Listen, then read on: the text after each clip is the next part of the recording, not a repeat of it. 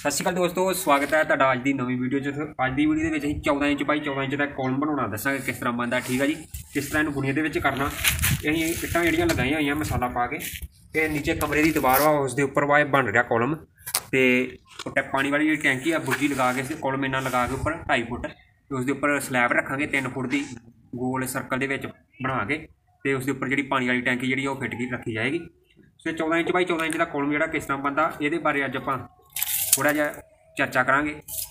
ਇਹ ਜਿਹੀ ਇੱਟਾਂ ਰੱਖੀਆਂ ਹੋਈਆਂ, ਮਸਾਲਾ ਪਾ ਕੇ, ਇਹ ਤੁਸੀਂ ਦੇ ਸਕਦੇ ਹੋ। ਪੂਰਾ 14 ਇੰਚੀ ਆ। ਤੇ ਇਹ ਉਂਗਲ ਪੈਂਦੀ ਦਰਜ ਜਿਹੜੀ ਹੋਣੀ ਚਾਹੀਦੀ ਹੈ ਇਸ ਦੇ ਠੀਕ ਆ ਜੀ ਇਸ ਦੇ ਅੰਦਰ ਸਾਰਾ ਮਸਾਲਾ ਪੈਂਦਾ ਜਾਊਗਾ। ਤੇ ਇਸ ਦਾ ਜਿਹੜਾ ਗੁਣੀਆਂ ਦਾ ਪ੍ਰੋਸੈਸ ਵਾ, ਉਹ ਇਸ ਪ੍ਰਕਾਰ ਕਰਨਾ। ਇਹ ਕੋਰਨਰ ਤੋਂ ਇਸ ਕੋਰਨਰ ਤੱਕ ਇਹ 19.5 ਇੰਚ ਵਾ।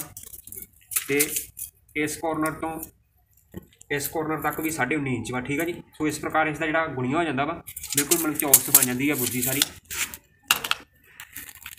ਠੀਕ ਹੈ ਜੀ ਇਸ ਪ੍ਰਕਾਰ ਇੱਟਾਂ ਜਿਹੜੀਆਂ ਉਹ ਆਪਾਂ ਸਾਰੀਆਂ ਚਾਰ ਸਫੇਰ ਦੀਆਂ ਜਿਹੜੀਆਂ ਉਹ ਸਿੱਧੀਆਂ ਵੀ ਕਰ ਲੈਣੀਆਂ। ਕੋਈ ਅੰਦਰ ਬਾਹਰ ਨਾ ਹੋਵੇ ਇੱਟ।